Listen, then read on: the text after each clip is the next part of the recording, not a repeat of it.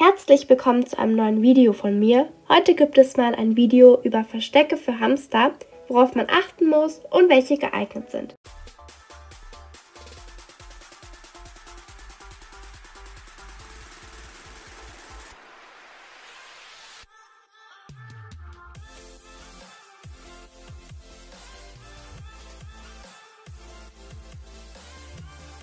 In diesem Video habe ich mich übrigens auf der Seite Getzo umgeschaut. Ich wollte aber noch mal sagen, dass das Ganze keine Werbung ist. Die erste Kategorie ist einmal ganz normal Verstecke. Das erste war so ein Grasnest.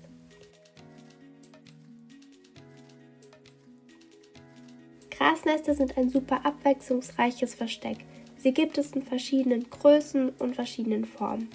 Für Mittelhamster sollten die Eingänge mindestens 6,5 und für Zwerghamster mindestens 5 cm aufweisen. Ein paar Maßnahmen, was Größen oder Streuhöhe usw. So angeht, kann aber von Hamsterhilfe zu Hamsterhilfe variieren. Durchgänge, die kleiner sind, würde ich aber auf keinen Fall empfehlen. Bitte passt auf, dass die Grasnester, die ihr kauft, ohne Drähte geflochten sind. Diese können nämlich eine Verletzungsgefahr darstellen oder auch mal rosten. Als nächstes geht es weiter mit Holzverstecken. Bei Holzverstecken muss natürlich auch wieder auf Eingangslöcher geachtet werden. Hier ist auch ganz wichtig, dass ihr keine Verstecke aus Nadelholz nehmt. Vor allem auch nicht das Holz mit der aufgeklebten dunklen Rinde. Ihr kennt bestimmt Laufräder oder auch Häuser, die mit solcher dunklen Rinde beklebt sind. Und das ist für Hamster einfach total ungeeignet. Das Ganze wird nämlich oft mit Nagelpistole und Heißkleber verarbeitet und hat auch meist zu kleine Eingänge. Die Inhaltsstoffe des Heißklebers sind zumeist unbekannt und an den Nägeln können sich Hamster verletzen.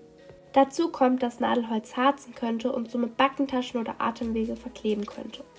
Schaut bitte also vorher nochmal drüber, welche Holzart euer Versteck hat. Solltet ihr nicht wissen, ob dies jetzt Laub oder Nadelholz ist, könnt ihr einfach nochmal recherchieren. Holz wie zum Beispiel Mangroven oder Mopani-Wurzeln sind ebenfalls nicht geeignet.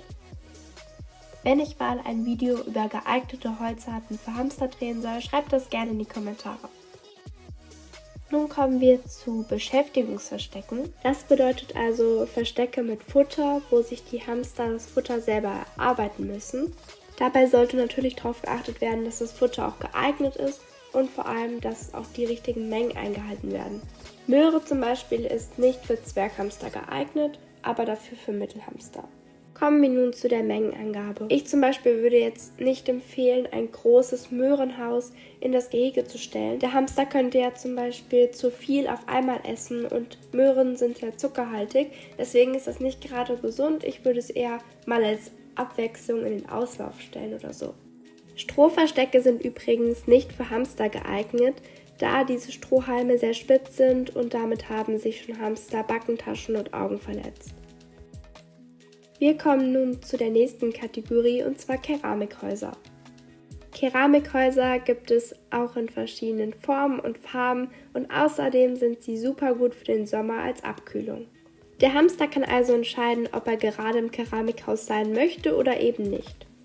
Die Keramikverstecke sind ziemlich schwer und deswegen solltet ihr sie vom Unterbuddeln sichern. Das bedeutet, dass ihr sie einfach zum Beispiel auf eine Holzebene stellt und dann können sie da auch nicht irgendwie untergraben werden. Nun kommen wir zur letzten Kategorie und zwar Röhren und Tunnel. Zuerst zu den Korkröhren. Ich mag Korkröhren und Tunnel sehr, sehr gerne. Sie gibt es in verschiedenen Längen und es ist wirklich ein sehr gutes Material. Es gibt auch noch weitere Holztunnel und Röhren. Hier ist halt auch wichtig, dass man wieder auf die Holzart achtet. Nun gibt es hier noch solche Heutunnel oder Weidentunnel mit Heu gefüllt. Heu- und Weidentunnel sind ebenfalls eine gute Abwechslung. Es gibt aber auch die sogenannten Weidenbrücken. Diese sind zwar ein gutes Versteck, aber da gibt es auch eine kleine Gefahr. Hamster können nämlich mit den Pfötchen in den Lücken von Weidenbrücken hängen bleiben. In der Natur wären sie in so einer Situation Beutetieren schutzlos ausgesetzt. Deswegen knabbern sie sich dann selber die Füßchen ab, um wieder frei zu kommen. Deswegen sollte man die Lücken von Weidenbrücken immer mit so nagerfreundlichem Holzleim und zum Beispiel Moos absichern. Ein guter Ersatz sind zum Beispiel Haselnussbrücken. Ich glaube, da sind diese Stöcke einfach gerader und deswegen entstehen da meistens nicht solche Lücken. Nun kommen wir zu Frodos Verstecken. Hier habe ich einmal so eine Felsenhöhle. Dann hat er so ein Keramikversteck, da kann man auch den Deckel abnehmen. Das Dübelversteck hat eine Freundin von mir selber gebaut. Nochmal vielen Dank, das finde ich richtig, richtig schön. Dann hat Frodo eine Buddelschale mit Maisgranulat und da ist auch so eine kleine Überdachung, deswegen zähle ich das jetzt mal als Versteck. Ich habe einmal hier noch so ein Keramikversteck auf dem Merkmannhaus stehen und das gleiche habe ich noch, es ragt hier so aus dem Streu vom Boden aus raus.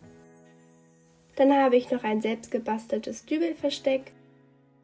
Außerdem habe ich noch zwei solche Weidenbrücken als Übergänge integriert hier hat Frodo noch eine Birkenröhre und eine Korkröhre.